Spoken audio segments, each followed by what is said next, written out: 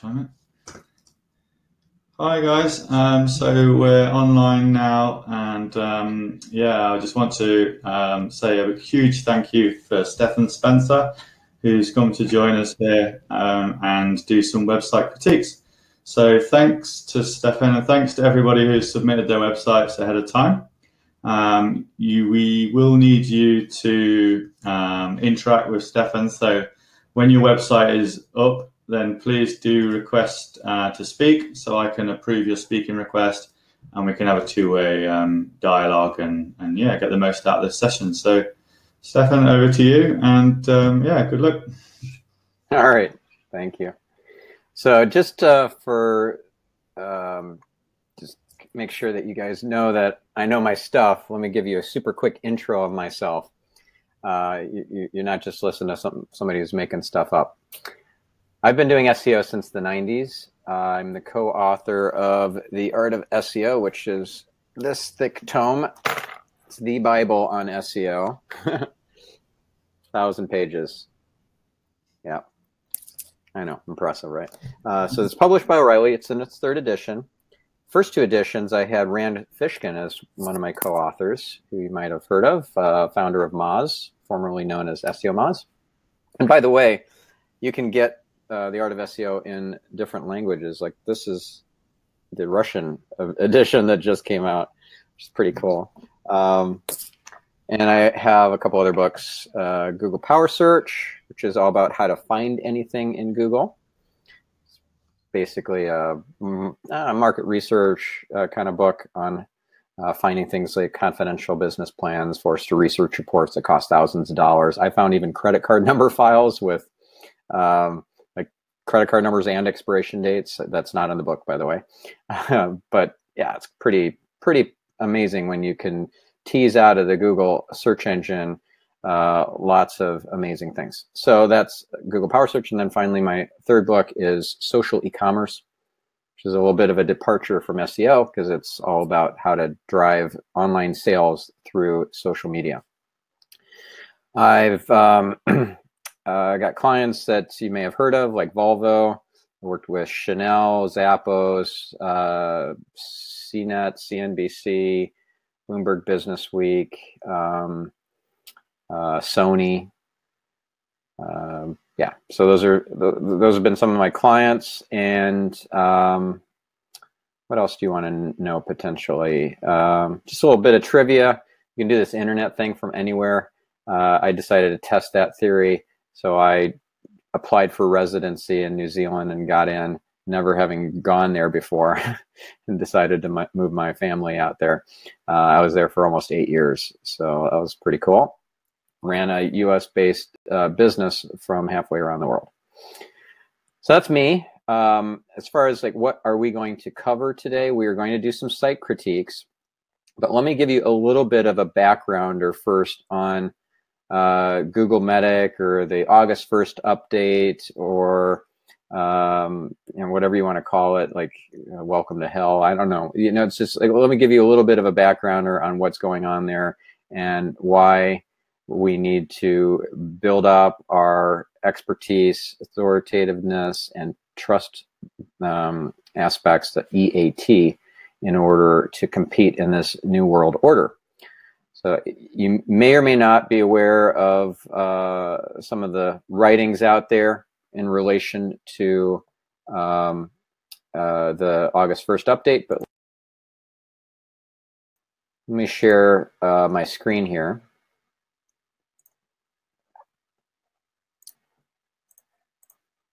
All right.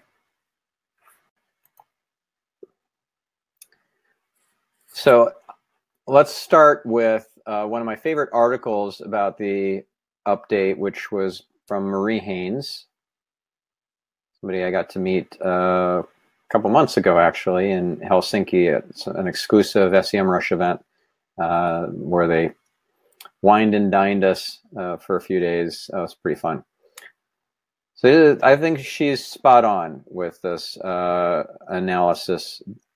The um, focus on EAT isn't just something she made up. It's from the Google Quality Raters Guidelines, which used to be super secret, and yet it would get leaked uh, as new editions came out of the Quality Raters Guidelines. Then that would get leaked as well, and Google eventually gave up and then just released it.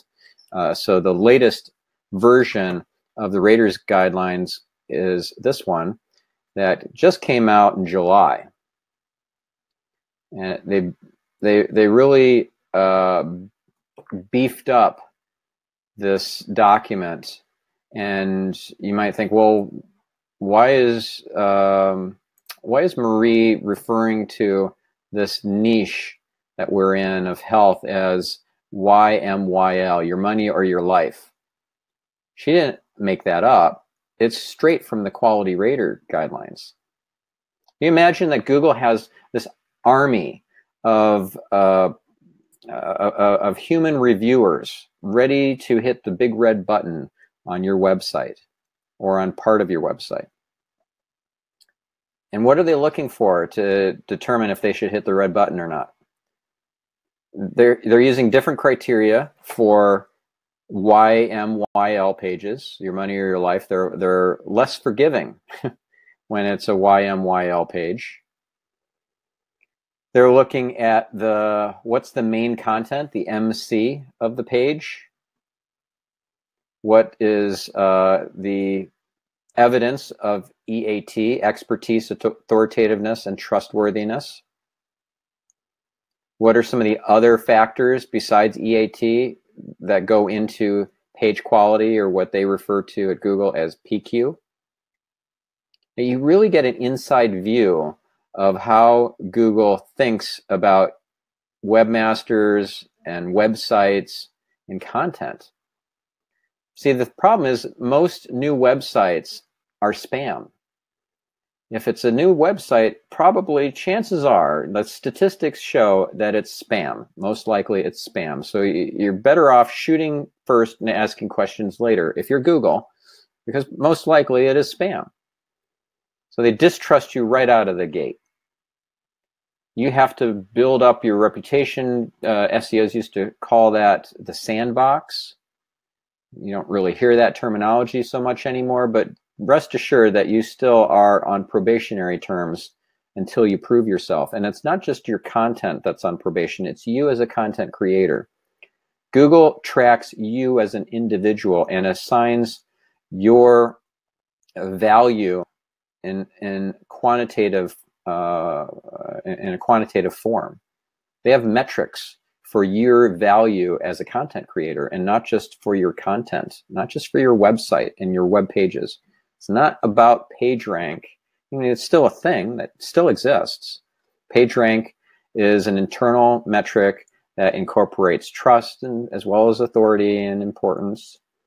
And not every web page is equal, obviously and people think of entire sites as having a page rank or uh, a link equity, you know, DA, domain authority, DR, domain rating, um, trust flow, citation flow. Those are metrics from Majestic. there are lots of metrics out there that try to get at what Google thinks, what Google um, believes about your website. but these are approximations. Nobody has hacked into the Googleplex, into the Google algorithms, and have figured out what the true uh, metrics are. But we can ascertain if we have a trust problem or we have an importance problem or we have a relevancy problem. And it may not be easy for you to make that uh, call because you don't live and breathe SEO. That's why we're here today, so that I can walk you through my thought processes as I'm evaluating in real time your websites. And it's not just the people who have submitted sites in advance that are going to have this opportunity. The fact that you are here showing up and a lot of people who did register are not, and just thinking they're going to watch the replay, they don't get the benefit that you're going to get of being able to say, hey, what about my site? Here's my URL. Tell me about whether I have a trust problem or I have an expertise problem or you know some other issue that you deem to be a, a potential reason why I took a big hit on August 1st. Okay, so we have this huge 160 page document. Yikes. Who wants to go through that, right? Crazy. This is what that army of human reviewers at Google are having to familiarize themselves with. This is their world. You don't have to get to that level. I mean, here's the part about P PQ, page quality. These are the main factors. Google is opening their kimono to show you what is most important.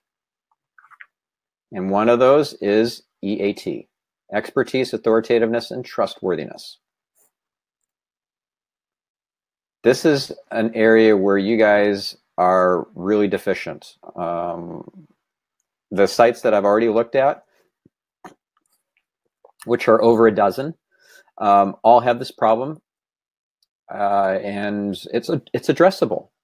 We can solve this, and it has to be solved because if you just leave it the way it is, you will continue to get um, a fraction of the traffic that you used to get.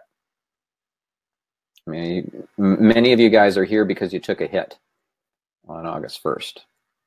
So let's address that uh, with pragmatic, uh, actionable, um, uh, needle moving activities. Right? So you can either be activity focused, which is fine. There's nothing wrong with that. It just doesn't get you the outcome you're after. Or you could be outcome focused. That is the differentiator. That's where you're going to win. If you're outcome focused, many of the activities that are so called best practices in SEO, things that you quote unquote should do, you'll never get to because they don't move the needle enough. If you're outcome focused, it's like you could imagine having, uh, let's say you're you're doing archery, you got a target the the bullseye is in front of you and you want to hit it. You've got all these arrows and you've got your quiver and you know you've got your your bow and you're gonna um, you're gonna take an arrow out of your quiver. You're gonna aim for the target what's your outcome? And maybe you hit it maybe you don't. Let's say you don't. Okay well then you take another arrow out. It's another activity another thing that you believe to be needle moving or high impact and you aim again. Maybe this time you hit. Okay you got your outcome. You hit the bullseye. Why would you go through the rest of your arrows? Like oh i never got to my meta descriptions. I really should optimize those because that's what i'm told is going to um, be a best practice for seo and so i'm going to do that. What a waste of your time. Do you know that meta tags in general do not move your rankings one iota? Meta keywords, in fact, never counted in Google, ever, ever, ever, not even on day one. Meta descriptions didn't count either from a ranking standpoint, but they're used in the in, in the snippets that are displayed in the search results. So there's a second order activity there for you to do if you run out of all the first order activities like okay i've optimized my titles and i've done, done my keyword research and i've done my uh, my link building my link outreach and all this other stuff. And i'm, I'm like set with that. I've done everything amazing and and you know just completely crushed it. Now you got some extra time on your hands instead of watching netflix. Yeah go and optimize your meta descriptions. Why not because you'll get a little bit of a bump in terms of increased click-through rate from the search results, but there's no there's no rankings benefit from your meta descriptions. So think in terms of outcome focus, not activity focus. This is not a big laundry list or checklist of everything that you need to do uh, to optimize for high rankings in Google. It's the 80-20 rule. It's the Pareto principle applied to SEO? What's the 20% that's going to get me the 80% of the benefit? That's what I want you focused on. So that's what we're going to focus on in this webinar. All right, so we have this 160 page document we have a nice write up from uh, SEM Post. Jennifer Slegg right, uh, did a nice analysis of the latest version, which is pretty cool. Check that out, right? You don't have to read 160 pages. You can just read her um, her take on all the key points from that. And there's a little bit of uh, you know quoting from the document in there too. So that's if you're too busy to read 160 pages. There's also the search engine land article uh, giving you the heads up that the um, major update to the quality rater guidelines uh, is out. And a little more detail around how many quality raters there are. There are over 10,000. They're all contractors.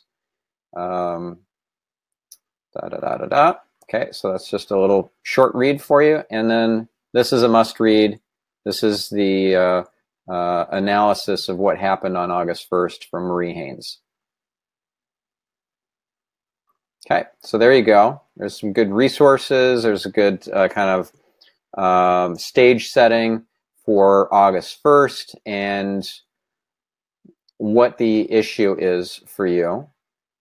Now, if we look at some real world uh, case examples of you guys that have you know various issues with your trust and authority and, and mainly your link profile and your content that is um, causing you the pain. Okay, so we'll, we'll we'll start digging in here, and, and I'm I'm only going to look at sites where you're on the call. I got over a dozen volunteers offering their URLs in advance, and um, you are the luckiest ones of all because I actually ran a link detox on every single one of your sites. But if you are not here for this webinar, I'm not going over your results. Why do we care about link detox? Because this is the most important tool in your tool set. It's from linkresearchtools.com and uh, it identifies how toxic your links are. If you have a lot of toxic links, what's going to happen is that you are going to look overall as a like a low trust, uh, unworthy site to get rankings, especially when we're dealing with health, you know, home remedies, uh, uh, alternative therapies, medicines, and, and stuff like that. It's high risk. Google doesn't want to present something that's snake oil at the top of the search results and people die from it. So they're especially putting the crosshairs on you guys. And you, it's not like this is going to just come back on its own. This is a permanent shift. You have to play differently now. This is a whole new, uh, a new world order. So let me ask, um, is the guy or gal in charge of the manlyzone.com on this call?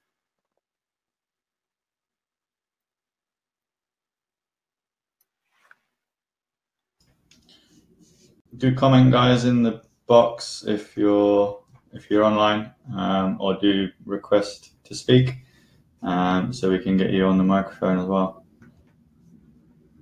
Oh, here we go. Yes, perfect. Hansi can. Oh, here we go. Great job. Thank you. All right, perfect. And are are we able to? Uh, is it a guy or a gal? Because I'm not looking at the. Uh, uh, and this the attendee list right now. Speak request has been approved. You should be able to speak. Um, if that doesn't work, I'm going to try and set you up as a as a presenter. Can you speak, Hansi, at all? All right. Gonna... Okay, so maybe, yeah, press the microphone button at the top of your screen because by default everything is grayed out. So you need to push your microphone button and you should be able to speak.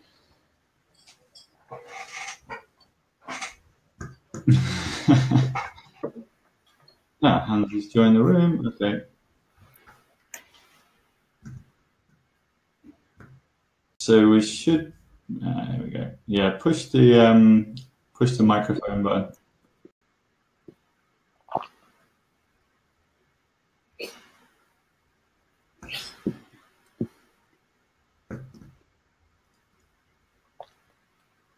Uh, just to speed this up, guys, for the future, anyone that's submitted a website already or is wanting to, or wants to submit a website, just if you can submit your speak request now, then we'll queue you up to speed this up in in the call.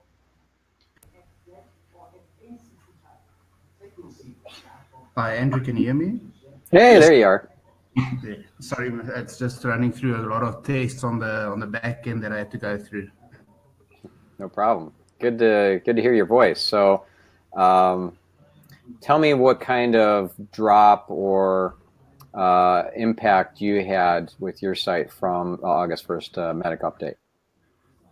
Okay, so actually my site started dropping around about May 17th, but um, there's been a, a, a, continuous drop over in the first of August. There was a relatively big uh, drop off.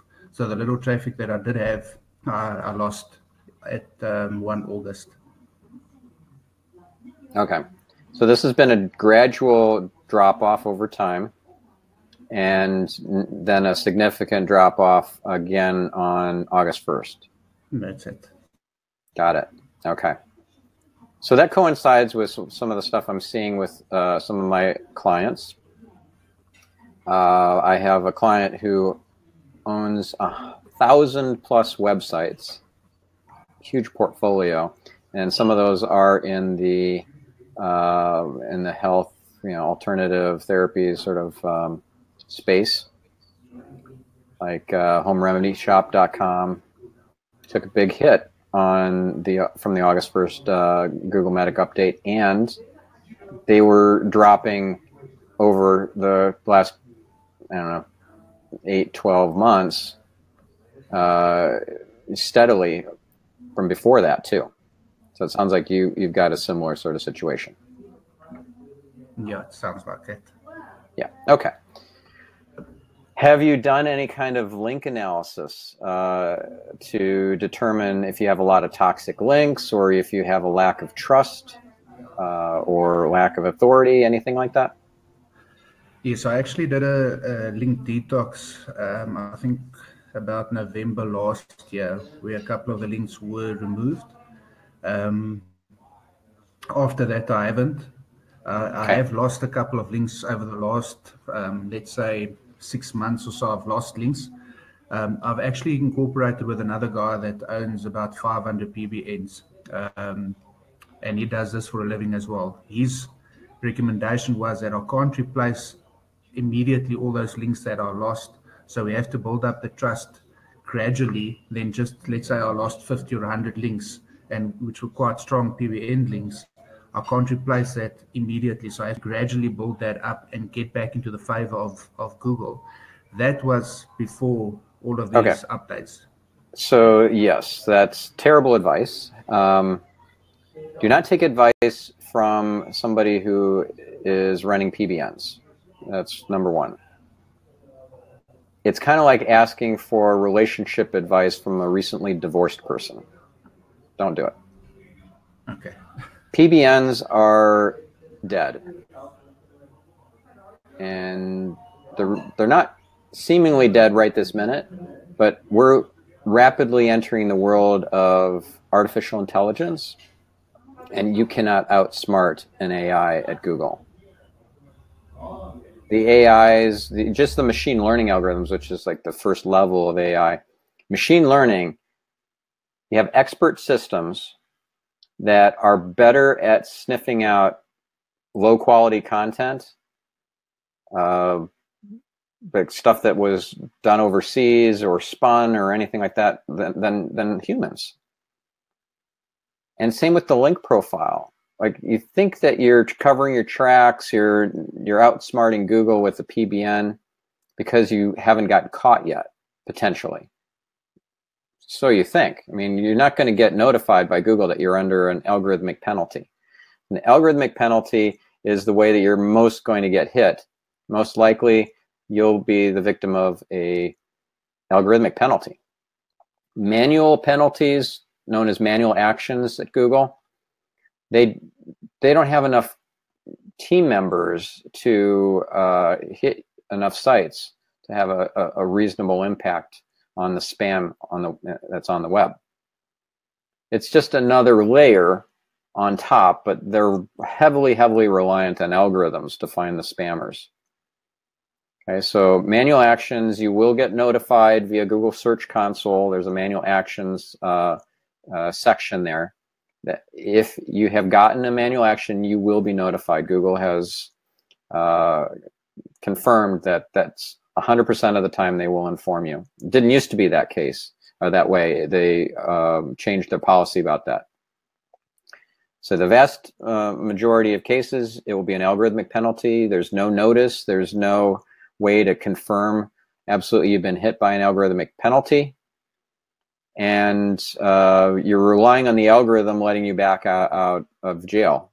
And we don't know if the algorithm ever is going to let you out of jail. And the algorithms now are self-learning, self-healing, um, autonomous. Like a, Google engineer who programmed an AI will not be able to go into the code and see what the uh, the attributes are that the algorithm is using now to determine if you're spam or if you're legit. This is the brave new world of, of SEO. And how do you, what's the only way that you can outsmart an AI?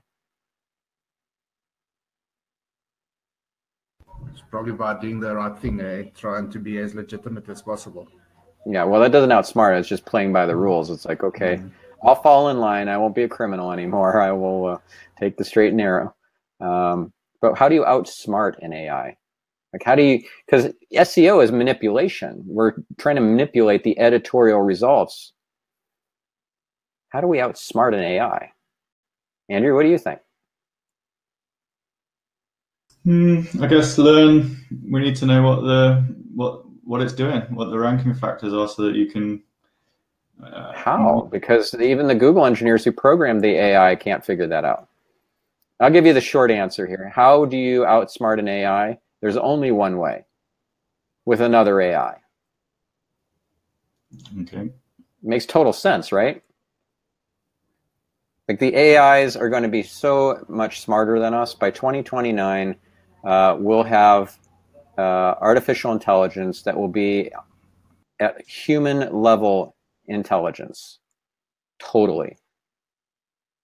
That's like mind blowing, right? But it, it doesn't stop there over the next 10 years, it will become like a billion times smarter than us. The only way we will be able to keep up is by augmenting our own uh, biology with technology. We will become human techno hybrids, cybernetic hybrids. Scary, huh? That's the brave new world. And um, in the short term, you just want to make some money in the next five years with your uh, uh, your your affiliate site.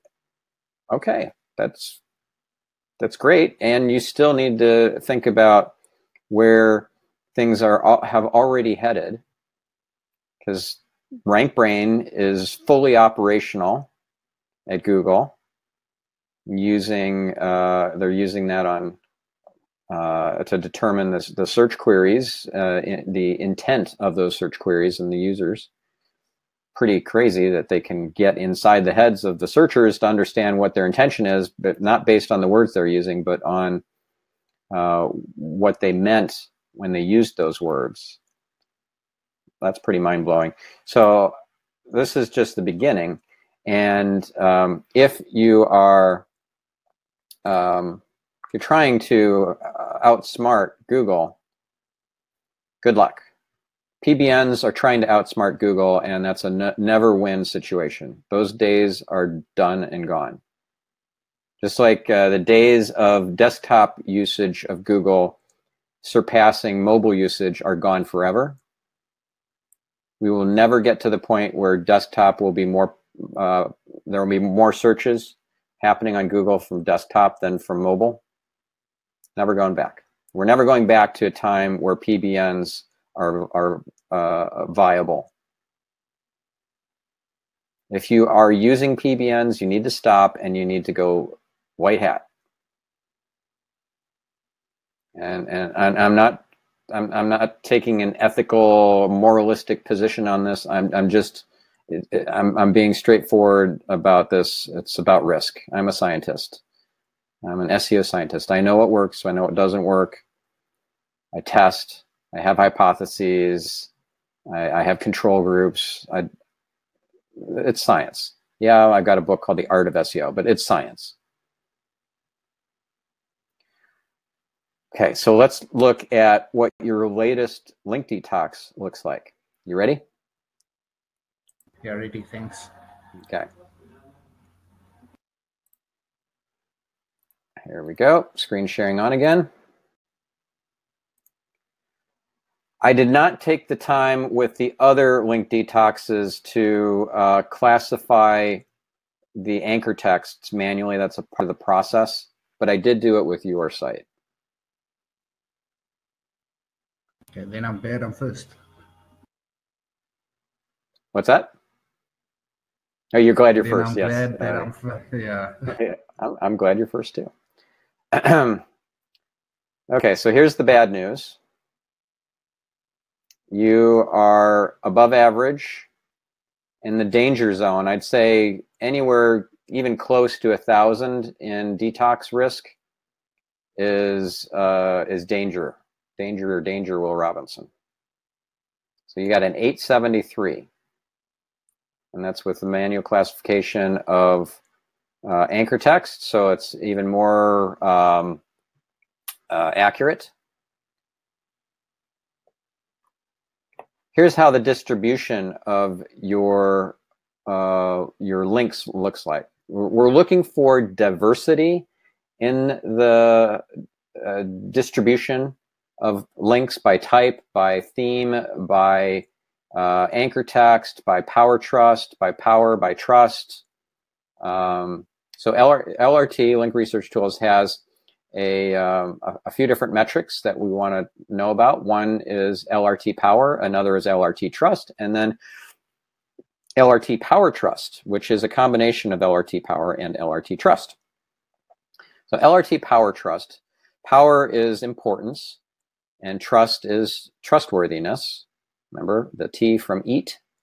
Um, and trustworthiness is uh, not based on a um, well what it is based on is distance away from high trust websites if you are far away from super high trust websites you're going to have really low trust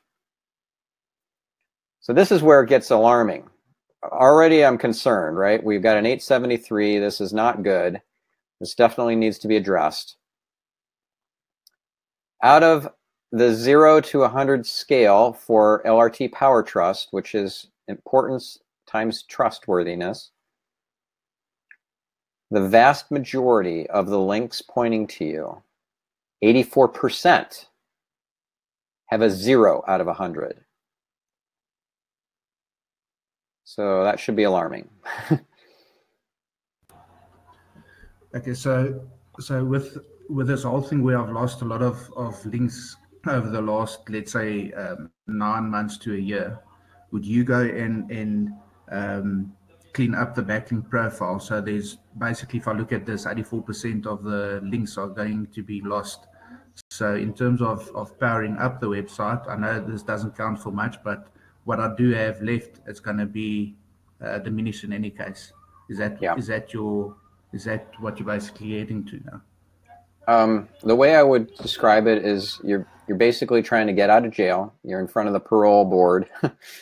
Not that I know much about uh, about uh, the the real par- parole board, but imagine Google is the parole board, and you're tr- trying to make your case to an algorithm that no, no, I'm going to clean up my act. I'm I'm I'm I'm, I'm going straight and narrow here. I'm I'm going to you know be on the on the straight and narrow for for from now on and you don't get a job. all you're doing is you're not apparently committing crimes.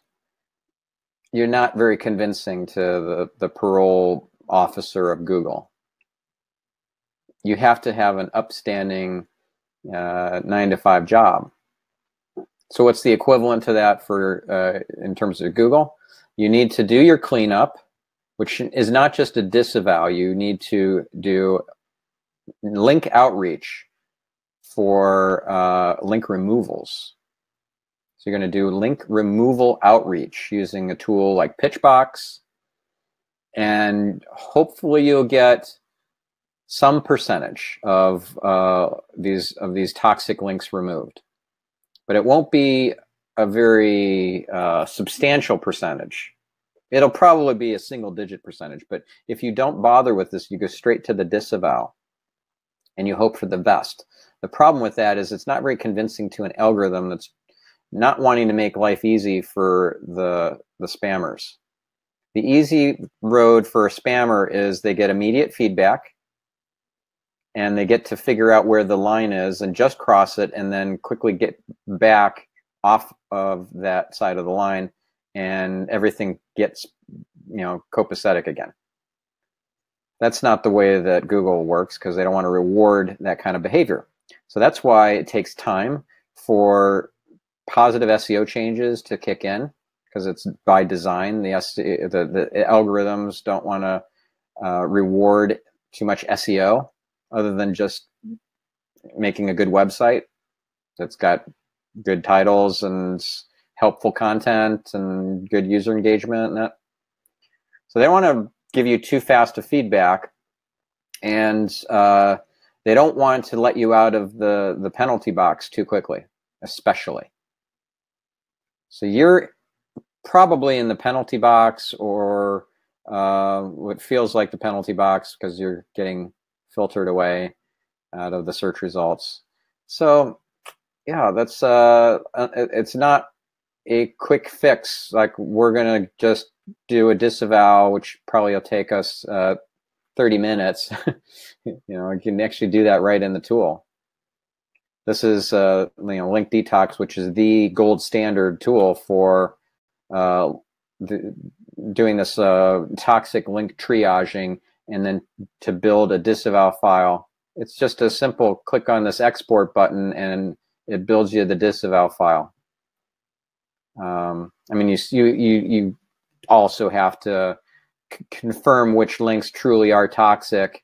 And that means going through all the uh, suspicious links, I mean, the suspicious pages as well, determine if they're toxic or not. And then um, you, you mark them as the, as ones you're going to disavow.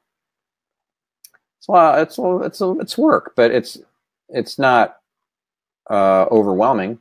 What becomes overwhelming is then to do outreach, asking for link removals, and you have to follow up. And you can use the tool Pitchbox to um, automate a lot of this. Like the follow up can be automated to a certain number of days after you send the initial outreach request for removal and then you send a follow-up, re-forward the original email and say, look, I'm, I, I really need a response from you. I don't want to submit you to Google um, as a spam site, but I will if I don't get a response. And then you get even more aggressive uh, and short with them, like, okay, I'm giving you till Friday, and then I am submitting you in my disavow file. I'm reporting you to Google. Don't make me do this. Just remove the link. Okay. And, and, and by the way, if you didn't build the links, you still have to go through this process. Google assumes, you know, shoot first, ask questions later kind of thing, because most sites are spam that show up in, in the uh, brand new in the Google index. So uh, you, you could have gotten penalized because of a competitor. You got targeted. They didn't like you. They wanted to knock you down the rankings. They wanted your spot in the search results, whatever. And they built a bunch of really low quality links. Bought them from overseas for 30, 40, 50 bucks. Thousands, thousands and thousands of links. And now you have to clean up the mess because it is as assumed by Google that you did it. That's the real world. unfortunate. It sucks, and it's not fair. But uh, that's that's the way it is. And another thing, and this is negative SEO. Another thing that's um, a real risk, negative SEO thing that's happening. This is so clever and evil at the same time. Um, competitors will pose as you emailing legitimate sites demanding that the link is removed, saying that you're spam and I'm going to report you to Google. And now your legitimate links get removed because they don't think to like uh, check that this is for real the the company it's actually a competitor. It's horrible. This is uh, the sort of stuff you have to deal with. So anyways um, i'm just going to go through a few more of these graphs so you get a sense for uh, what the situation is. It's not just about having a lot of toxic links. And it shows here what the rule are, uh, rules are that were were hit Okay, so TOX1, that means that it's uh, de-indexed from Google, the site that is linking to you. That's uh, obviously a bad sign. Most likely it's a penalized site then. Another uh, rule is, that will get flagged is TOX2, which means that it is a dangerous website, malware infected, virus infected, um, malicious software. So that's TOX2. TOX3 is if the site's link profile looks really horrible and sketchy. And of course, all these penalties flow over to you. So, and and um, remember, negative SEO is a real thing, and you can get targeted. So it's not it's not so easy to identify that you've been targeted by uh, a bad actor because not only do they use links to to uh, drag you down, but they'll use redirects and even canonical tags. If they are targeting you with a, a link rel equals canonical from a toxic website, most link analysis tools will not show that as a link. The only tool that I know of that will analyze uh, and, and will catch this and analyze it, include it in the toxicity reports, is link research tools. They actually analyze the, the canonicals. You can have a cross-site canonical from a toxic site to yours, which would be almost impossible to detect without link research tools. And um, that's how you might get gotten penalized. Another thing they'll do is they will take a toxic Sentinel 301 redirect it to you. That's easier to catch, but it's still difficult, more difficult than just a link. Um, another thing that's very important to know about this tool is that it does not announce itself as it comes uh, around to the bad neighborhoods, spidering them. Majestic, for example, a tool I love, follows all the good bot, bot uh, guidelines and announces itself like, hey, my user agent is Majestic Bot. Hello, here I come. And then uh, the smart spammy websites be, oh, Majestic, uh, we're not available right now. Or, oh, let me show you this really nice, uh, uh, clean version of my website, right? So Majestic will not show the toxic links.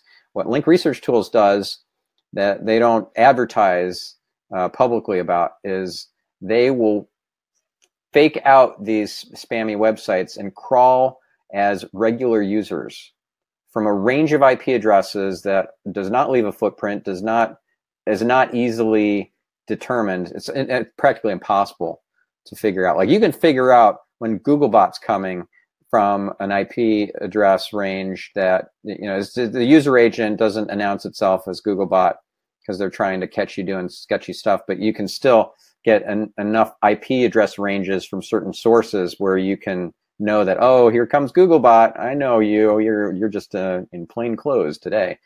Um, but you can't do that with link research tools. With its bot you'll have no idea that it's a the, that it's the bot which is a huge distinction between this tool and other tools out there.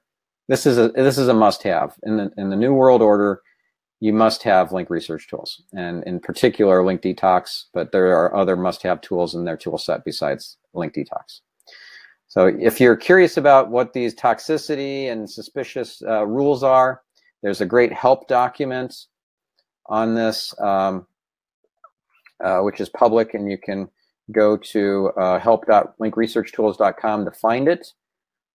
But here's what the page looks like. Um, and it just goes through what all of the toxicity uh, labels are, what they mean, and why they're considered bad and suspicious and all that sort of stuff. So this is triage. Triage originally from uh, back when you know there were battlefield uh, medics trying to figure out who's going to live and who's going to die, who needs immediate intervention. Triage is this person is going to die no matter what, with or without intervention. Let's just make them comfortable. This person will only live with immediate major intervention. So top of the queue. And then uh, the third bucket is this person is not have does not have a life threatening in injury. We'll put them next in the queue after all of the uh, life threatening uh, will die without intervention people. So now, if you apply that uh, idea to links that are pointing to you, the toxic links are the ones that are really damaging you. The suspicious links, they're not quite sure it's likely to be spam, uh, a spam site that's linking to you. Not quite sure. You better hand check it. And the third group is innocuous. It's not har har harming you. If in fact, if you disavow too aggressively those innocuous sites, you'll take a rankings dip which really that that sucks too. Like, oh, I've disavowed so much. Like anything that even you know had the sniff of of spam, it's gone. Well, that was not the best idea because if it's um, innocuous, it it it's probably helping you. Okay, so back to the report here. Um, there, there's a link detox screener that allows us to quickly uh, scan through these uh, sites, th these linking pages, to see if they are uh, worthy of being marked as toxic, if they're suspicious already and we need to review them. You should probably hand check the toxic links too, just to confirm that, yeah, that's that is definitely something I want to disavow. And with the screener, you can hit the add to disavow button. Um, into uh, add to the outreach list. There's very tight integration uh, between Link Research Tools and Pitchbox. So that's really handy because uh, I don't want to have to deal with export files and trying to kludge together a, a, solution. No, this is like super tightly integrated. Christoph Cemper from uh, Link Research Tools and uh, Michael Janellis from Pitchbox are literally like best buddies. So they did a very tight integration. This makes it so easy for you to do the manual, seemingly uh, manual, but semi-automated outreach for the link removals. And remember, you have to do the link removal uh, outreach because you got to show that you put in the hard yards, you did the the mea culpa. You didn't just take the easy road and create a disavow file. So can I just the algorithms are looking for that. that. Say that again. Yes. Can I just ask you a question regarding that? Um, how? Sure. So you, you just mentioned an algorithm will pick it up.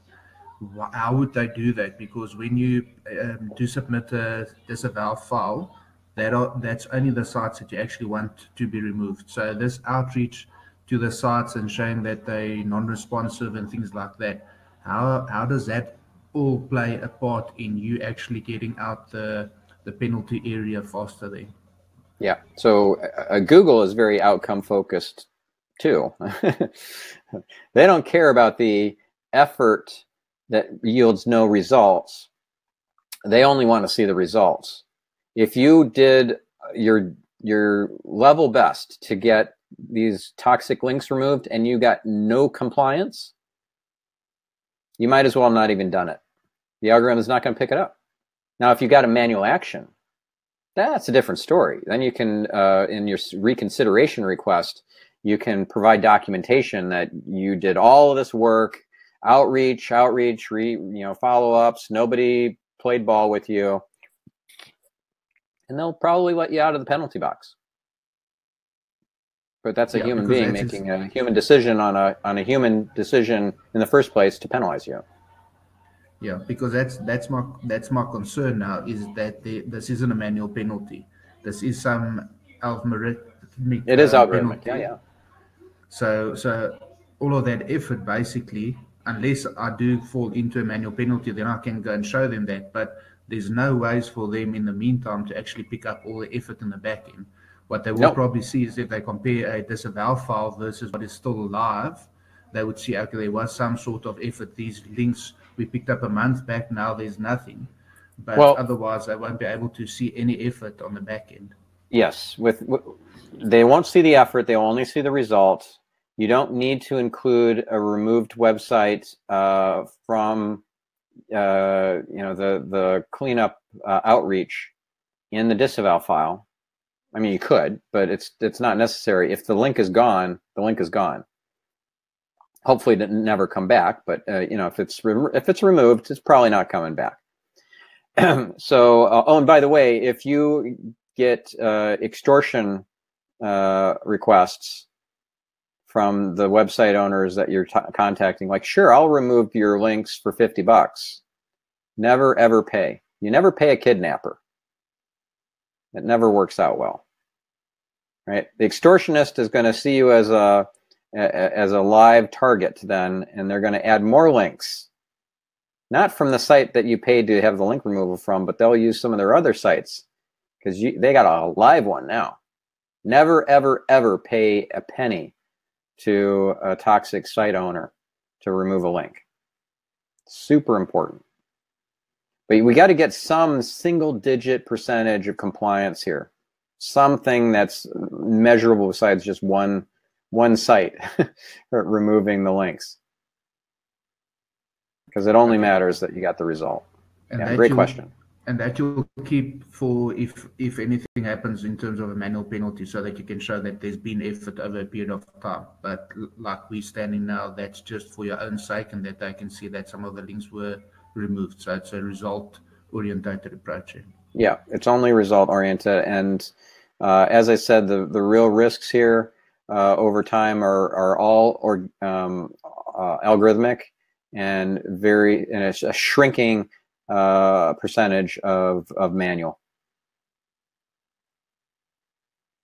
Thank you. Cool. So um, let's go back to the distribution here and we'll take a look at some other distributions. You might wonder why am I spending so much time on this one site? Because you need to know how this tool works and what to look for so that you can we can go through these much quicker uh, as we go through the next ones. And we're on we're not only going to look at link detox, we're going to look at other tools, use other metrics, and then I've got a follow up uh, webinar that I'm doing uh, in what is it uh, like 11 hours time, 10 hours time, something like that. I think 10 hours from now. Uh, so that follow up webinar, which you should all attend as well, I'm going to give much more detail on the tools that you're going to need. This is more critiques, and that's more like hands-on training on the tools. Hands-on is in I'm going to do, do it. You're going to watch like over my shoulder as I'm uh, using these tools, and uh, I'll walk you through all the different aspects. All right, so this is not good, 84% have a zero out of 100 in LRT Power Trust and the, of the pages that are linking to you. Let's look at the domains that are linking to you. It's the pages that are passing the link equity and the uh, link penalties and all that to you. It's not the site overall.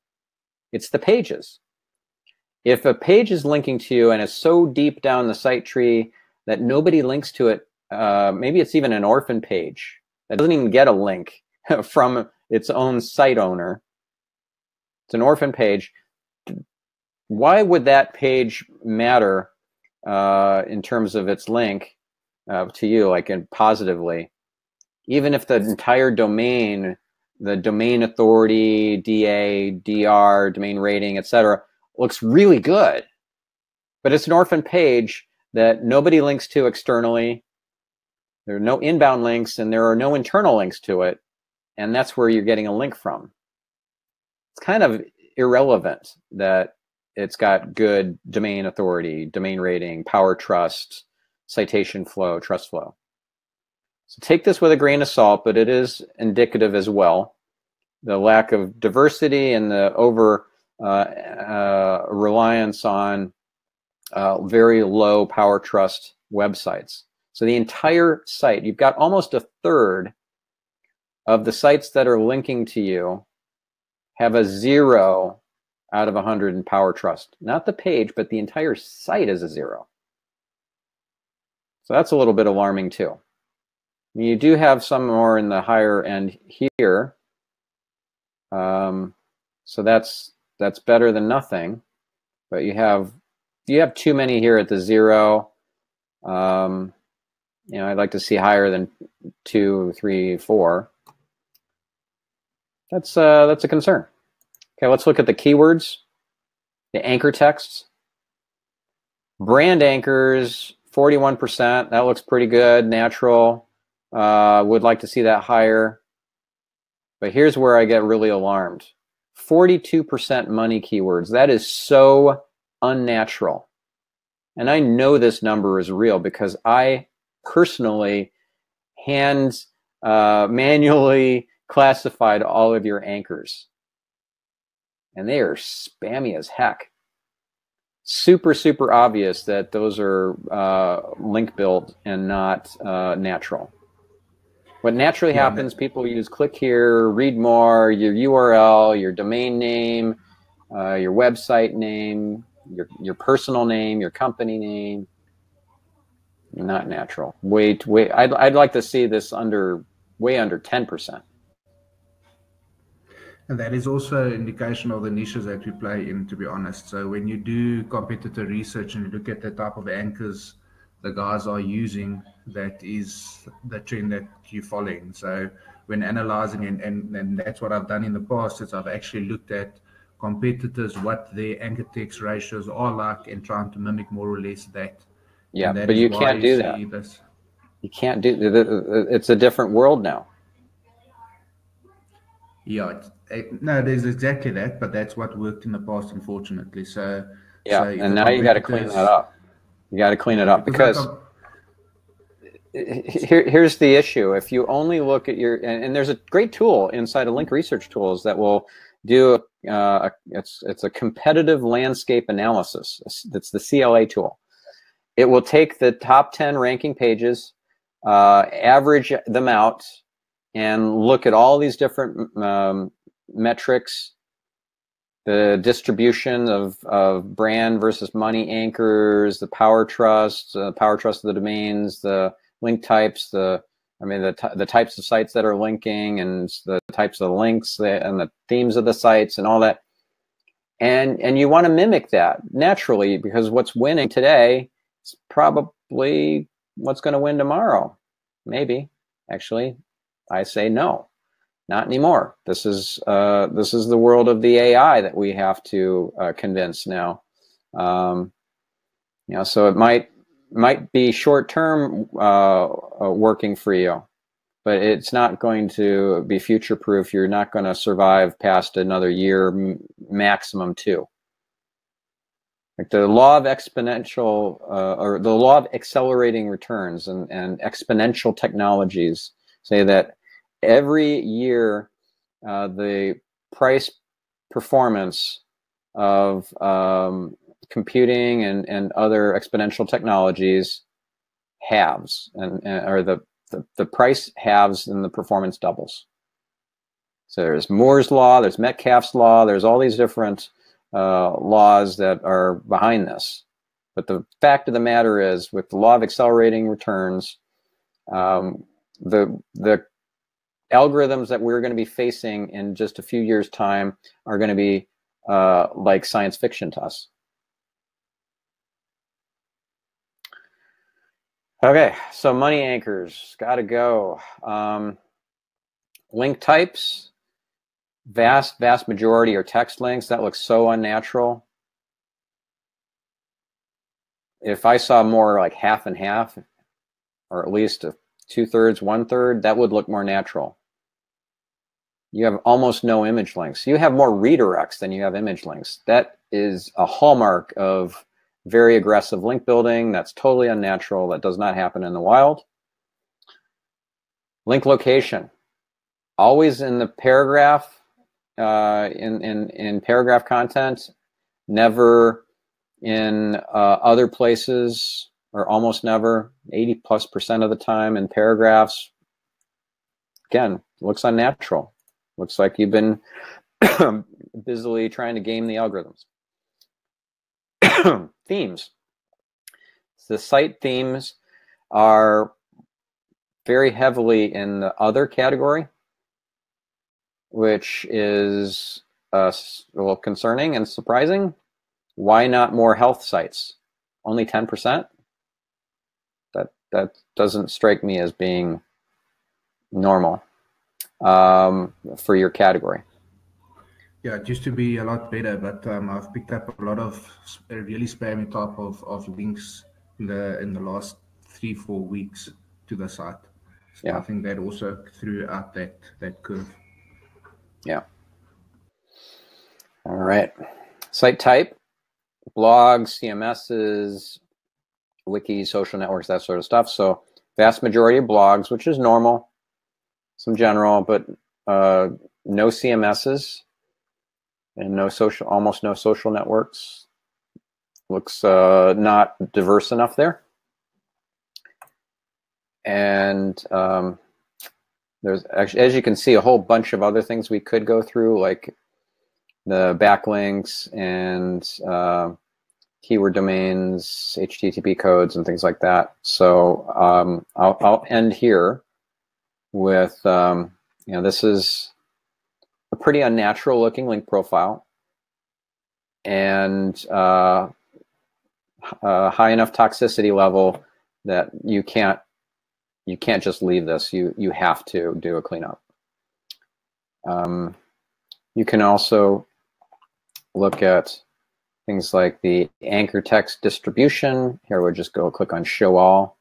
And we can see all sorts of pie charts and things. And um, you know, we're looking for things like the uh, um, a natural distribution of top level domains, TLDs. Like, uh, is there a mix of .coms, .nets, .edus, and govs, and all that, uh, different country level TLDs, etc. Or is it all all just .dot .com, dot .com, dot .com? And is it um, natural looking in terms of the uh, anchor text, um, which I already said is not, but we can see what those anchor texts are. Estrogen blockers, look at the percentage of, um, uh, of estrogen blocker as the anchor text. Um, and then here's OTC estrogen blockers. You really have to add those in together because they're, they're, just so obvious money terms. Um, won't happen naturally. All righty. Um, one other tool I want to show is um, Majestic, and then we're going to move on to another site. We're going to put the Manly zone in here for, actually there is one more thing I want to show after we look at this.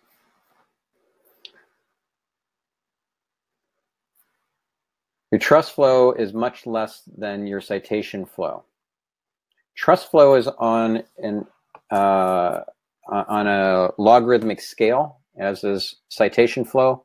PageRank is on a logarithmic scale. The Richter scale is logarithmic, meaning like a five on the Richter scale pales in comparison to a six, but a six is nothing in comparison to a seven, and an eight is like uh, like catastrophic, right? So a 20 out of 100 on trust flow is really, really, really small. And, the, the best way I can convey this is uh, in, with a visual. This is uh, from way back in the day when PageRank was still being exported. The not the internal PageRank that Google uses, but an export, quote unquote, of PageRank scores from uh, Google that were served up by the Google Toolbar server. So let's let's have a look at what this uh, logarithmic scale means practically.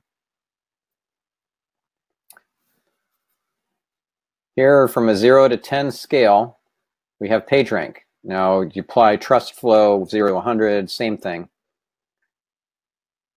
A 10, we have the top of the mountain.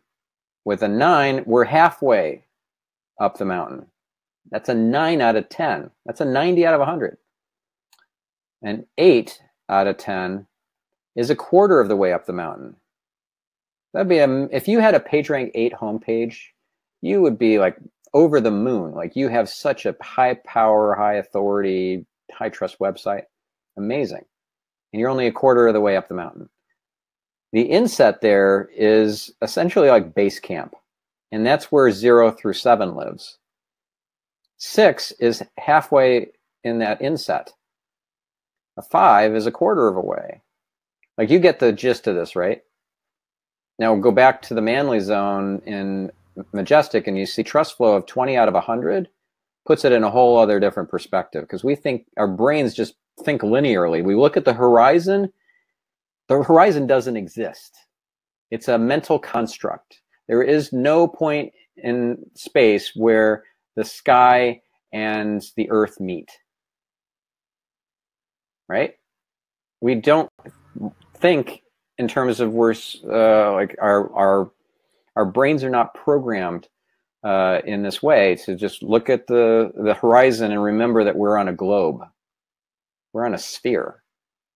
So we look at 20 out of 100 with our linear brains and we think oh well we got a bit of ways to go but we can totally do that. We could get to 40 we could get to 50 you know we just need to put the hard work in there. A 50 is so remarkably different from a 20 it's it's it's like saying, well, I can walk to school, so therefore I can run uh, a, a, marathon, the LA marathon, and come in hopefully in the first 20 people. it's night and day. So uh, I just want to make uh, that point because we got to remember we're we're on a globe, we're on a sphere here. When we're looking at trust flow and citation flow, we're looking at logarithmic scale. So trust flow 20 out of 100, citation flow 30 of 100. I much prefer to see you with a trust flow that's a 30 and a citation flow that's a 20. It's it's you're skewing towards less trust, more importance. And I want all of you on this webinar to skew the other direction. So just uh, to, to, to, see a concrete example of that, here here's uh, stephanspencer.com, my personal little blog, TrustFlow 45, Citation Flow 39. And I want you to, have those your, kind of metrics next year.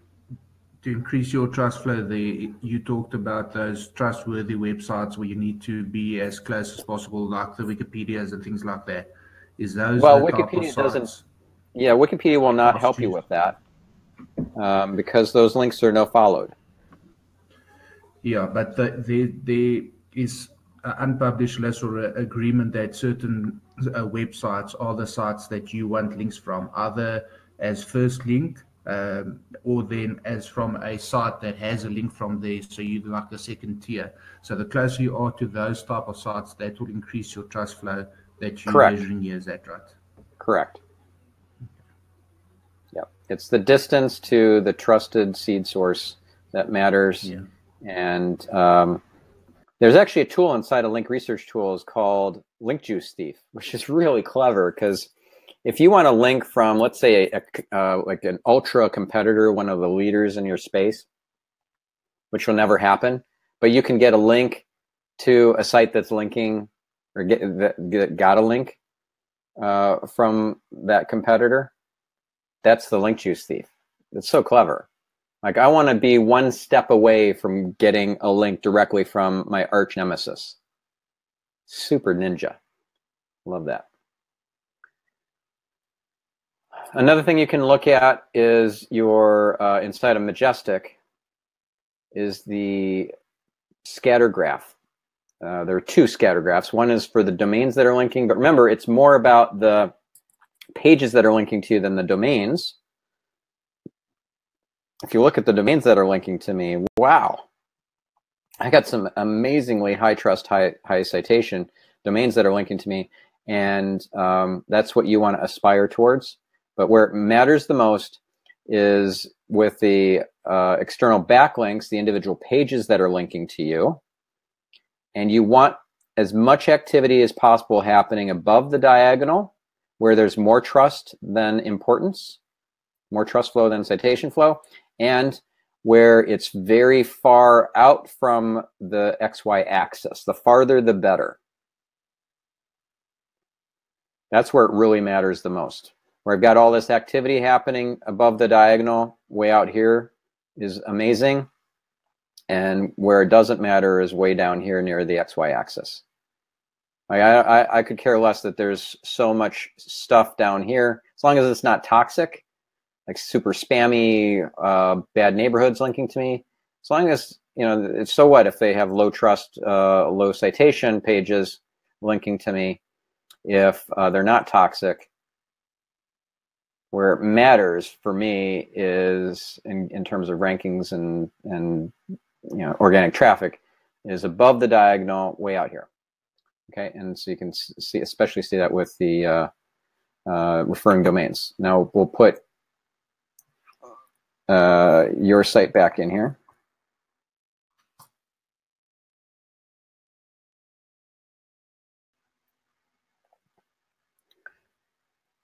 A lot fewer links. Um, a little bit of activity above the diagonal, but not much definitely want to see you skewing towards higher trust than importance with the link building that you're going to be doing. That means creating remarkable content that's link worthy, uh, cornerstone content, in other words, and then doing outreach using a tool like Pitchbox to get in front of the influencers. Uh, let me give you an example of a, a piece of cornerstone content not from me this one, but um, this was the probably the result of 100 hours of work uh, by this particular uh, company. They did a, a, survey of over a thousand bloggers, and then they analyzed all the data, came up with all these findings, and uh, then they went out to influencers, major like the the Linkerati, those influencers who have a lot of uh, link uh, equity. That they included in this amazing long form blog post all this analysis plus expert insights from those major influencers, major linkerati. Genius. Because if it was just like, oh, I'll get a quote uh, from this big influencer, I'll, I'll use Pitchbox to do an outreach and say, hey, I've got this really great. Well, the worst case example of doing outreach for links is to say, hey, I've got this great um, uh, thing that your readers will really get value out of. Here's the link. Here, in fact, here's the anchor text that you, if you could use, that would be great. That's even worse. Um, and uh, let me know if you have any questions. like that's that's the worst. That's that's like email spam, e email spam 2.0. Don't do that. You want to make it in their best interest to shout it from the rooftops, to add it to the blog, to um, uh, add it to their social channels. Now remember, social links do not uh, have any SEO value on their own. The benefit is to get in front of other audiences of the Linkerati through social media and then when they add links to their blogs and websites, then that really kicks in the value. But all of the social platforms no follow their external links. YouTube, um, Wikipedia, um, uh, Reddit, um, Facebook, Twitter, um, Instagram, um, LinkedIn, Pinterest. They're they're all no following their external links. So you'll get no direct SEO benefit from those links, but you'll get discovery by the linkerati, hopefully. So the best kind of outreach to an influencer is where you don't even have to ask for the link. They they just they're motivated internally to add that link. This lady, uh, who I know actually, she's very super smart lady, um, Ann Handley. She'll see this and say, "Wow, that that's really good. I like that." That's um, you know, she's like a superstar in this uh, content piece, in this cornerstone uh, content. So she'd very likely uh, mention it in her blog and on her social channels. Whereas if it's just uh, a, passing quote or statistic, courtesy of Ann Handley, in in the regular body of the article, a lot less likely she's. This is ego bait essentially. Very clever, and they've got these sprinkled throughout the article. Really, really smart. So you're going to have to do this kind of uh, outside the box thinking. Uh, infographics, that's another opportunity that uh, you're going to have to think differently about. If you just sent an infographic via uh, Pitchbox saying, "Hey, I've got this great infographic. It's going to be really interesting to your to your uh, readers," nothing. Delete. you're just going to hit delete. If, on the other hand, you send them a draft and say, look, I've got this gaping hole in this uh, infographic about the history of um, the history of testosterone by the numbers. Like, oh, that's that's like a really good uh, infographic. And it's not just vaporware. I'm not making this up. I actually have a, uh, a draft of it attached. You don't say it like that, but you get the gist of it because most of the stuff is vaporware. They get an email saying, yeah, I can contribute a guest post on next this topic or whatever, and they don't have anything. it's it's vaporware. Like I've got an infographic. Uh huh. Sure you do. Right. Only when I say yes, I want it, I'll post it, or you're going to create something. So you you you send them a draft of this, uh, but it's got gaping holes in it, and you say I'm I'm missing this key research or these key data points or uh, the trends of, of like where things are heading in, in the area of testosterone research, whatever, and you are just, you got your finger on the pulse on this area. I would love to get some stats, some tips, some whatever you want to contribute on, on this piece uh, so that I can incorporate it into the infographic and I'll uh, cite you as a source and, you know, this, this will, this will be amazing. And you don't even ask for the link and then they send it back to you and you say hey it's done. I've got this great infographic now. And thank you so much. It wouldn't have been possible without you. They're, they're invested in that. They've got um, they're invested in in the creation of it because they contributed. So you don't even have to ask for the link. You shouldn't ask for the link. Just let them decide on their own like oh this is good. Yeah actually my readers would like this. And a great thing about infographics is that they're going to want to embed the whole thing, just like you don't want to link to a, a YouTube URL and that's it. You want to embed the video, right? That's a much better user experience for your readers, your visitors. Well, if it's an infographic, I don't want to just say, there's a great infographic link. Go check it out. Trust me on it. After you click, you'll see it. No, they're going to embed it. And when they embed it, now if they don't have your permission, they've violated uh, a copyright. So if somebody's using your infographic and they haven't cited you as the source of it, there's no link there, there's no attribution other than the graphic itself, then you can go, hello, excuse me, but you're using my infographic and um, you didn't attribute me. Please add a link or remove the infographic. They're going to add the link. Right, so you use a reverse image search like uh, Google Images guys know that uh, you can do reverse image search? Check this out. You just click on the little icon, uh, the camera icon, in the in the right hand side of the search box, And then there's an opportunity for you to paste a URL of an image or to upload an image from your computer. And then it will find that image and similar ones. That's reverse image uh, search. Super cool. So if I can do that, um, I can see where, um, you know, where, where there are cases that um, my infographic has gotten on websites without attribution. And then I can hit them up and say, hey, hello.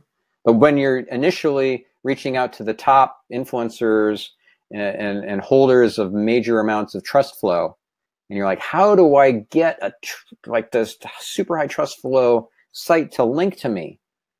Other than pay them off, like you know, backdoor bribe or something. How do I do it? You make them invested in the success of your content piece get them personally invested in it, like uh, what I just described. So they're they're a serious contributor to it. Like um, uh, Brian Clark from Copyblogger is a serious contributor, not just a you know uh, a, a brief mention. He's a superstar in this content piece. All right, so that was a little a very important aside. Uh, did you have a question? No, not directly on this. Okay. All right. So that's um, uh, a little bit about uh, Majestic trust flow and citation flow and how you want to have the uh, skewing towards more trust, less uh, importance. Let's look at one last thing real quick. Here's what happens if I uh, visit your site because you are not on a secure site, a secure uh, server. You're not HTTPS. That's scary as hell. This is I'm using Safari now, but you also get a warning with Chrome if uh, visitors come to an HTTP version of your site and you're not secure. So you need to set up um, your site on HTTPS and you need to do proper migration of that site. You don't just slap it up on HTTPS and then do a 301 redirect of everything because that's going to create a lot of havoc and you're going to actually lose rankings. Hopefully, will come back after a few weeks or a few months, but it's certainly going to wreak havoc for a period of time.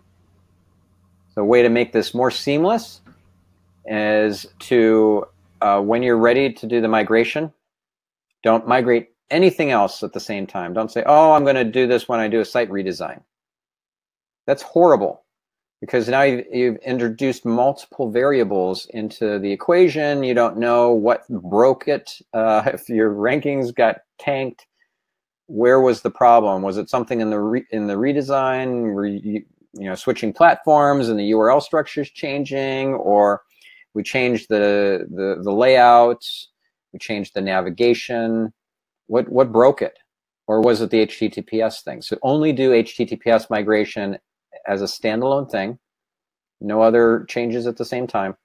And don't 301 redirect everything, but almost everything. What you should not redirect is the robots.txt and the XML sitemaps. Okay, what, what I can't understand is that, yes, I did move the hosting um, to cloud hosting because my time to first byte was very slow. So I moved the hosting to to increase that. I did have an issue with um, the Let's Encrypt uh, SL uh, certificate, which the hosting guy sorted out. So on Firefox, on my side, it's fine, but so I can't understand. So I need to go just back to the hosting company just to find out what, what's going on. Yeah. So if you are, um, if you're serving up this uh, a 301 redirect to your um, HTTPS version of your robots.txt file, um, that eliminates uh, your well. If you're if you've got a single sitemap listed in the um, robots.txt file, and when it redirects, it's just listing the HTTPS version of the XML sitemaps. This is why I like having a separate robots.txt file for the HTTP versus the HTTPS version. Because then you can get more granular in what you, uh, what sort of directives you, you provide to Googlebot for the HTTP version versus the HTTPS version, including different XML sitemaps, um, different disallows and all that. And um, you can, uh, for the XML sitemaps, keep the old XML sitemap alive. That's why you're not going to 301 redirect it, so that that speeds up the discovery of the 301 redirects to all the pages of your site by providing an XML sitemap that says, here's my map for all the redirects that I want you to find, it's going to speed up the discovery of those. And thus the, the discovery leading to the transfer of the page rank to those new pages on the HTTPS. So that's, uh, that's an important distinction. And you need to make a change to the HTTP version of the XML sitemap so that it, uh, it, it shows Google that it's different. If it's it's exact same XML sitemap than it was before the the um, migration, Google's going to say, "Oh, I've seen that before. I don't need to relook at that XML sitemap." So you got to go in there and touch it, make a change to it, delete a line, add a line, you know, change some priority code, something. Make a change. And then Googlebot, when it sees the XML sitemaps next time, it's like, oh, you made a change. Okay, let me respider that XML sitemap and respider all the URLs that it finds in that uh, sitemap. And oh, look, 301 redirect. Oh, another 301 redirect, 301 redirect, 301 redirect. So that could take something that would have taken months for Googlebot to rediscover the, uh, all the new pages at HTTPS and compress that down to maybe several weeks. These nuances are just, they, they, they can kill you if you don't get it right. Questions? Any questions? No, I think I think we are moving into an age where someone like me with very amateur SOS, uh, SEO skills are actually getting getting slaughtered out there because it's small little things like on my side thinking that the SL uh, certificate is is correct. It's not, and that that I'm seeing now. And to sort it out, it's actually very technical. So that's just the, the I think the issues that some of our part-time affiliates are sitting with now. Okay. All right. So I know this was like drinking out of a fire hose, and all we did was uh, do an analysis of one site, and we didn't even look at the site content. But we do need to move on to uh, some other sites. Thank you so much for being the the, the big guinea pig here for uh, for our analysis. Um, uh, appreciate that. Yeah, no, I really appreciate your insights and analyzing the site. Thank you. Awesome. You're welcome. All right. So uh, let's pick. Now we're going to do lightning round for the last half hour. Is Snoring Devices Australia on?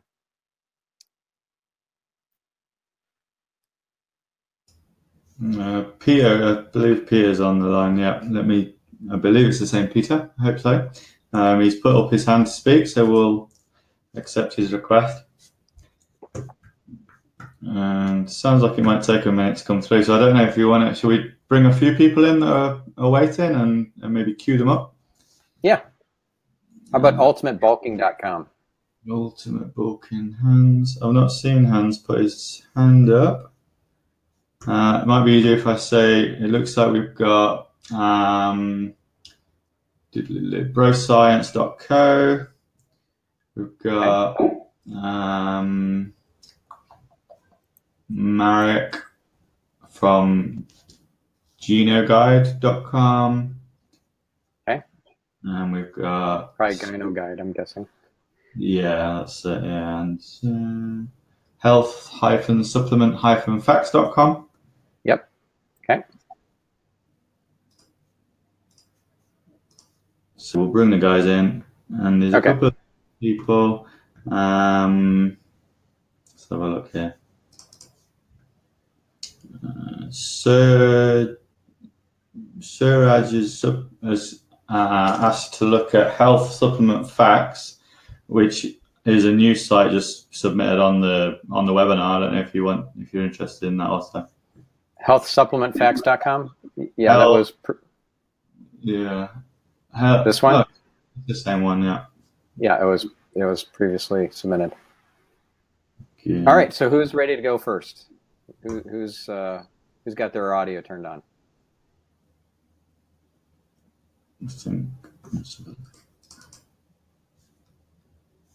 And by the way, if um, if you guys want to make the second webinar, which is in what ten hours time, uh, nine and a half hours time, to be a continuation of this one, where we cover the rest of the sites and then some, and we don't go into tools really. We don't do like a hands-on tools uh, session like we were planning, but we make this a continuation. Totally cool with that. So you guys tell me what works best for you. Perfect. We'll see who turns up. okay, so we've got a couple of people that have joined. Guys, if you can yeah, push your mic buttons, hopefully we can hear you. We'll take first come, first serve.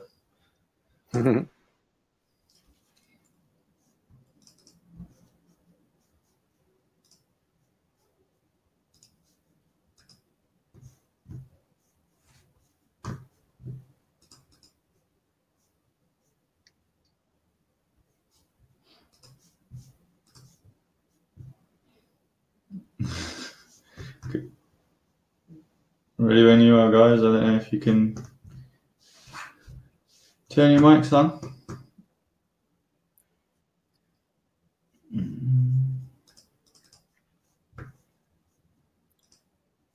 Hello? Hey. Hello. Hi. This? this? is Peter, Snoring Devices hey, Australia. Perfect. It took me a moment to in install a Chrome extension. That's what that's what was taking. Uh, oh right, yeah, I had to do that too. Yeah, yeah, yeah. Okay, so I got some bad news for you. Okay. We're in the red.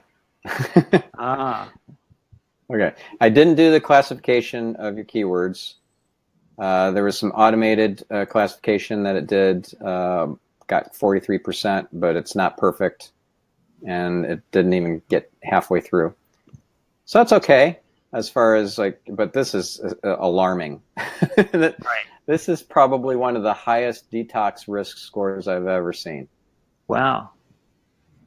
And I've never used PBNs. I've actually not even really done link building. Um, this is all this is all just happened. Yeah. So I'll, and and for your case, I'm actually going to have a look at some of these toxic links because we didn't have time to do that. I'm not going to do this for very long, but I, I want you to see very specifically what some of these links are that are linking to you. Because it's not just scraper sites that are linking to you. Okay. Okay, so here is um, something that's de-indexed from Google, webforfreaks.com, pillows for sleep apnea and snoring, page five. So this could be scraper. Uh, so your page title is probably how anti-snore pillows work and anti-snoring pillows, snoring devices Australia. Is that your title tag? in your homepage? Um, that's not all in there, but uh, not on the homepage. Could be on maybe a, for a, on a, a, on a subpage. Yeah. Got it. Okay. So this is probably scraped uh, Google results or something like that, or Bing results. So who knows? Um, how about let's look at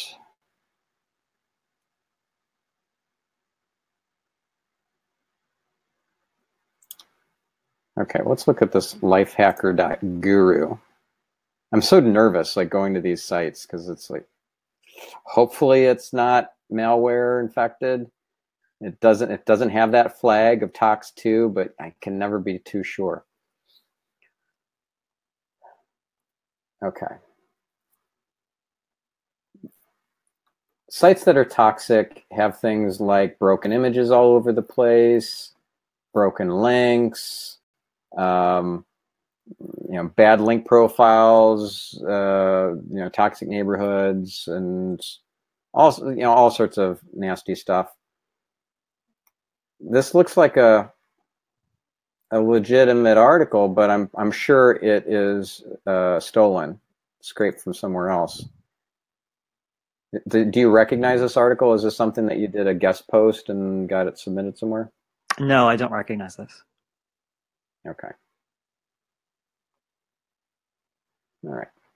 So this one is probably scraped off of like a lifehack.org or lifehacker.com or something like that. Lifehacker.guru, like, yeah, right. Um, so that's tox3 with high toxicity score. Uh, let's let's try this one.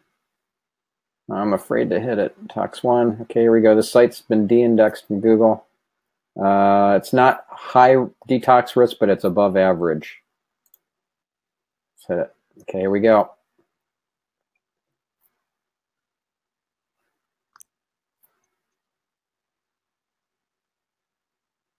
And at, at face value, you might think, well, this is decent content. I don't understand. Like, it's not about uh, the article looking useful uh, at first glance. Remember, the algorithms that are looking are looking for spamming and manipulation and, and um, unnatural patterns. So there are unnatural patterns that put this in the in the high, higher risk uh, side of things. Kind of interesting that they have stripped all links from this page. They probably scraped it from somewhere. Um, and then they've dropped a link to you. That looks so fake, right? Yes, I, I Places have no idea. where it should be like uh, CPAP if I want to know what CPAP is, I should be able to click on it and go to a really helpful article on WebMD or whatever that explains CPAP and CPAP machines and stuff. But all of the places where you'd think contextually relevant links would appear, none are, are there. And then one uh, link dropped at the end. Definitely looks very suspect, and that's a link I would want to disavow. Uh, let's try another one. One more. We'll go one more. Um, and we can sort by the rules. So let's let's sort by um, by the rules instead of the detox risk. Okay, here we go. And what I'm looking for or what I'm looking at is I want to see how many tox ones there are before it moves to tox two. We we have a big problem with lots of tox um, toxic links.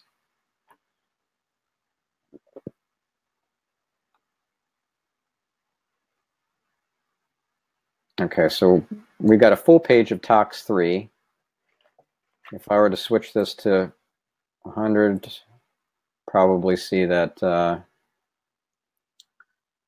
the whole thing would be filled with tox 3 and then if i start going page by page by page and i see tox 3 tox 3 tox 3 and if i started at the beginning where it was all tox 1 and it was just 5 10 15 pages of tox 1s oh that would that would really suck right?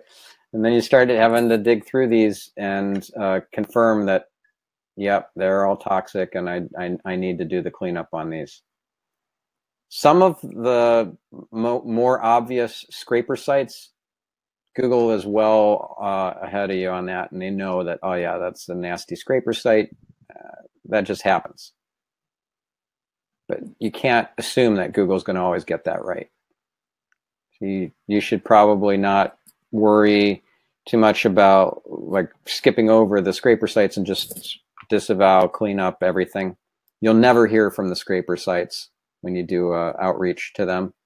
Okay, that's so fine. Just dis- disavow those. Okay.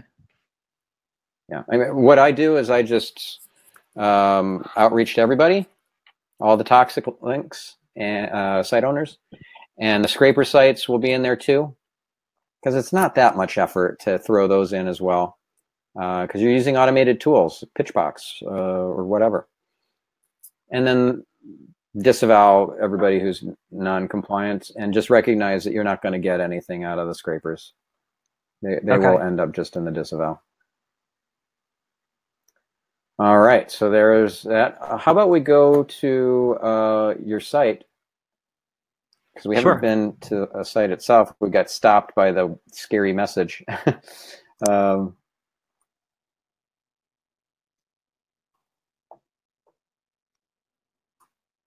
let me ask you, why not a .com.au?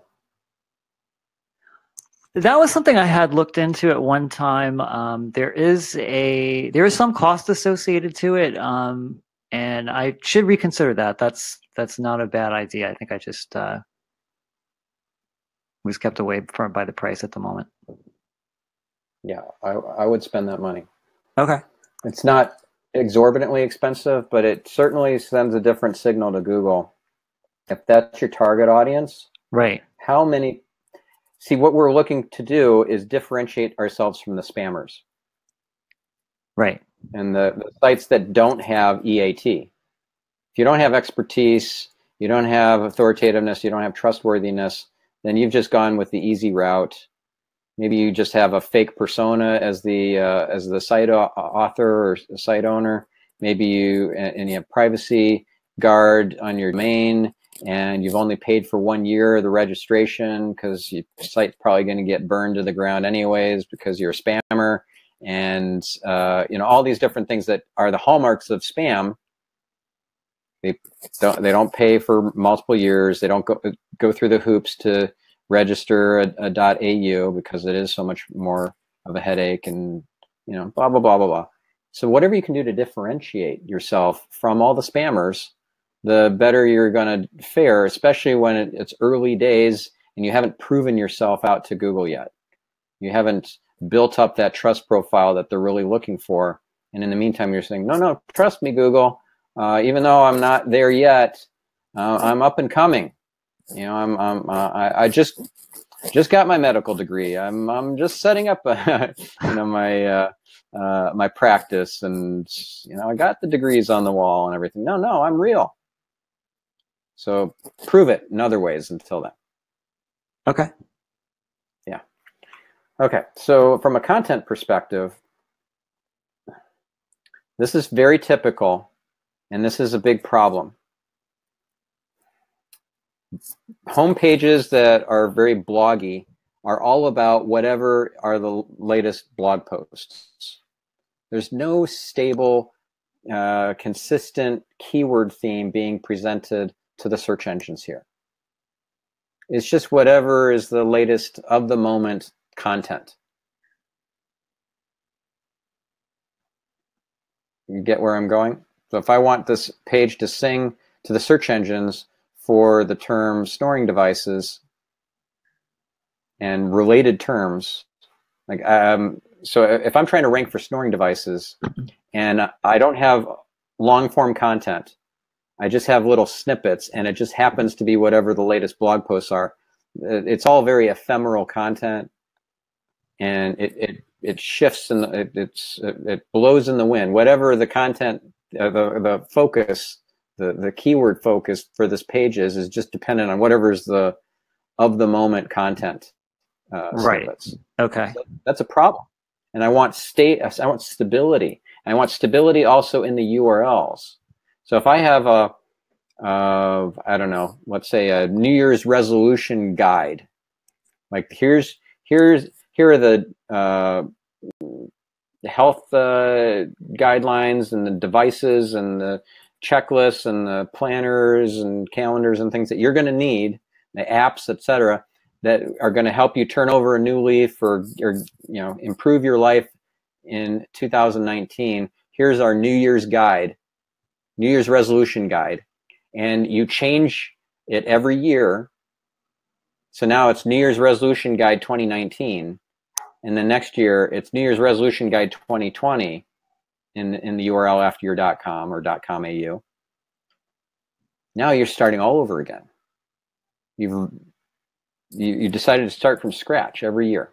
Terrible idea. stable, stable keyword theme, stable um, URL, like stability. That we want stability. So what would be the the the alternative that would be much better for SEO? Keep the URL the same. It's uh, New Year's resolution guide or New Year's resolution helper. That's it. And it's the same URL from year to year to year to year. Let's say you want to take last year's content before you replace it, archive it, put it at uh, New Year's resolutions guide 2018. That's fine. Nobody cares about last year's content. You could delete it or you could archive it to a, another URL that isn't inheriting all that great link equity over the years. So same thing with holiday gift guides and all. It's it's this is all very uh, applicable. So you and, and that's why there's so many websites that are doing really really well with SEO that are continually updating their cornerstone content pieces instead of just letting them um, turn to seed or to, to rot. Right? Here's here's a great article from uh, Backlinko about writing from an SEO perspective backlinko.com slash SEO dash copywriting. That's the URL. He keeps it the same URL from year to year and he updates it regularly. A year doesn't go by where he hasn't made a major update to it. He's not just changing the date in the last updated uh, part of the page. Okay, last updated March 14th, 2018. He's making substantial changes to this document. This is a living document. And it's one of his cornerstone pieces of content and it's long form content, but it's done in a way like this is going to go on and on and on as it loads. You're going to see I can scroll forever. Super, super long, but it's very readable. It's very, cons- uh, it's easily consumed because the, the paragraphs are broken up into, into small bite-sized pieces. In fact, paragraphs are oftentimes just a word or two. This is called a bucket brigade. When you see a bucket brigade, you're like, what? Like, give me the rest of it. It's like a cliffhanger. Now, now what? Now what? I'm, I'm not going to stop reading there. So you start incorporating bucket brigades into your um, into your articles, your, your content, product content, etc., to keep people on the page and increase your engagement metrics. That's important because if you get high bounce rate, Google doesn't pay attention to bounce rates because they're not spying on your Google Analytics. What they are watching is what's called dwell time. If people are dwelling a long time on your page and not coming back, not pogo sticking back to the search results and picking another listing, Google tracks that. Google knows that, hey, they just clicked on your listing and two seconds later, they're back and they're clicking on number three. Number two must suck. Let's give that a demotion. So that's a user engagement metric that they do uh, watch because they're tracking clicks from the search results. They aren't spying on Google Analytics. Uh, your Google Analytics, everybody would leave Google Analytics in droves and they go to you know, Adobe Analytics or whatever. Right. So bounce right. rate, time on site, they're not looking at that. They're looking at dwell time. And if we want good dwell time, we want short paragraphs. We want lots of visuals. Look how much uh, visual uh, stimulation there is here. I can't scroll and see, uh, not see images. And the images have red boxes and red circles and um, red uh, arrows and underlines and, and like visual interests. You know, to click to tweets and things are, are very visual. The, the subheads are very visual, you know, colored backgrounds and everything. This is very, very good. So emulate this and not just what he, he's eating his own dog food. He's applying all 17 of his copywriting techniques that he talks about in this article and across all of his uh, cornerstone content pieces.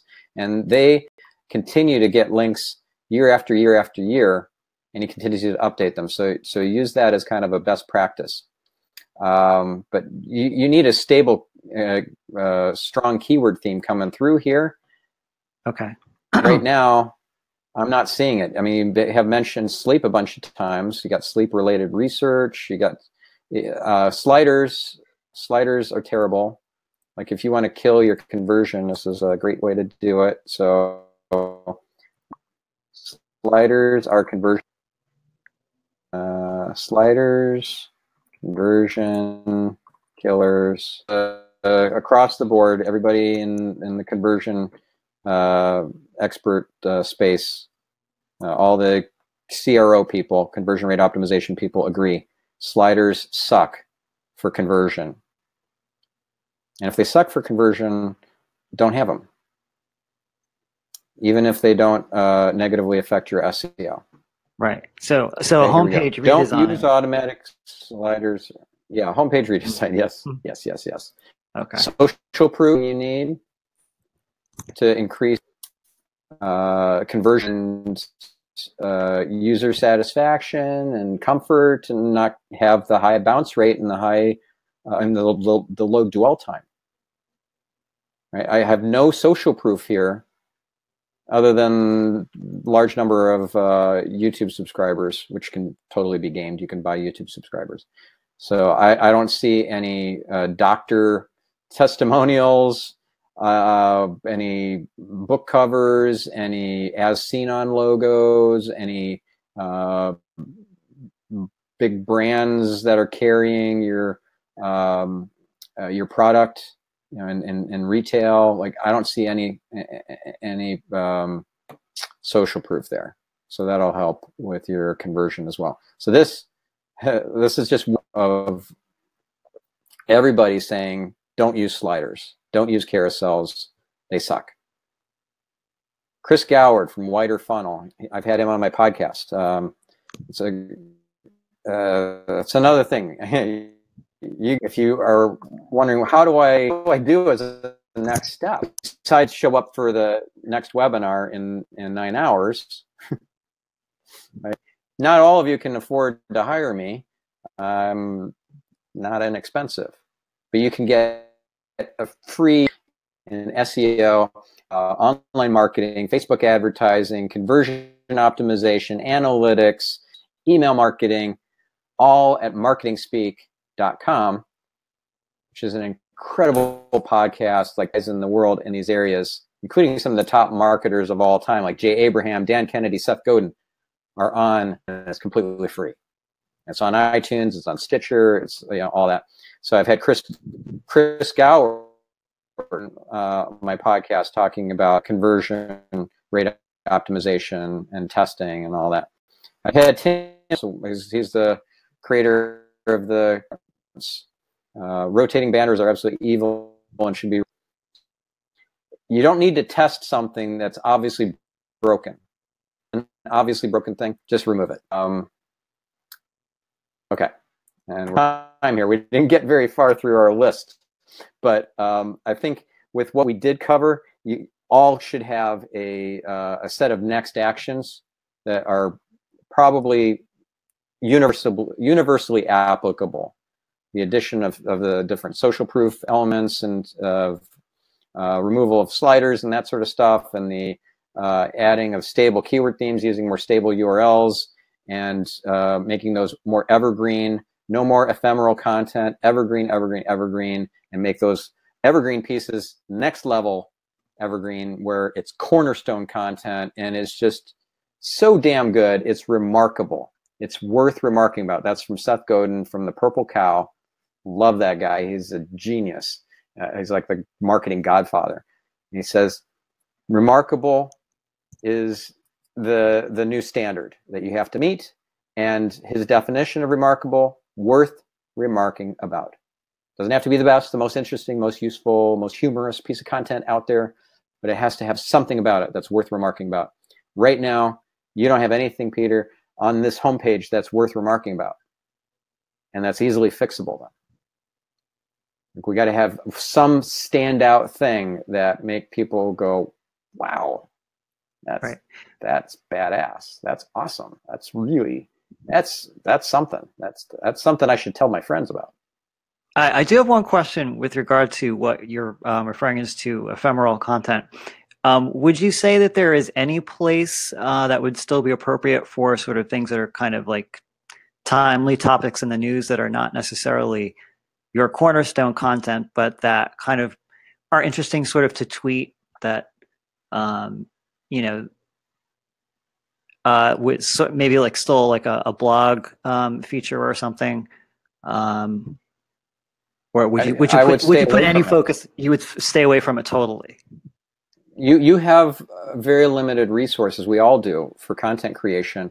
Why put it in stuff that's just going to be flash in the pan unless it could go very viral Right. while while it's a trending topic but um, okay so let's say that trump uh, mentions in a uh, some sort of press interview that he gets three hours of sleep a night.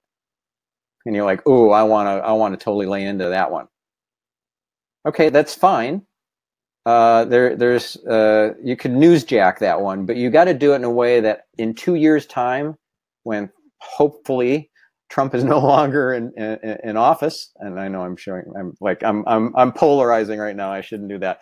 Um, two years' time, when he's no longer relevant to the conversation online, I should still look at that article headline and say, I got to read that. This is this is the advice from the top experts, the top sleep experts in the world for Trump, who gets three hours of sleep a night, and everybody else who's sleep deprived. Now, that's a terribly long title I just totally made up on the fly, but you get the gist of it. Evergreen. Two years from now, totally got to read that article. Okay. Yeah, great question. All right, guys, we are down to two minutes. Uh, Andrew, any last um, kind of, I don't know, housekeeping or.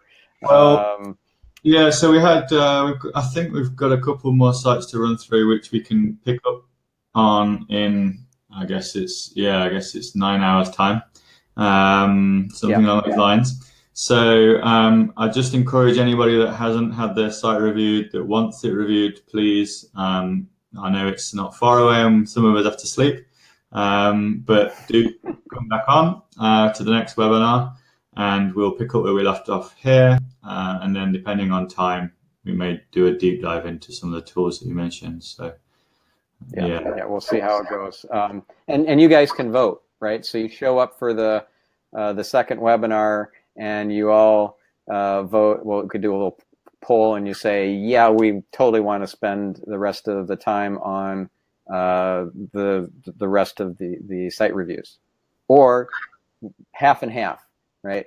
Half on tools and half on the site reviews, or let's just dive right into the tools and, and the hands-on training on that uh, that we were planning on doing anyways.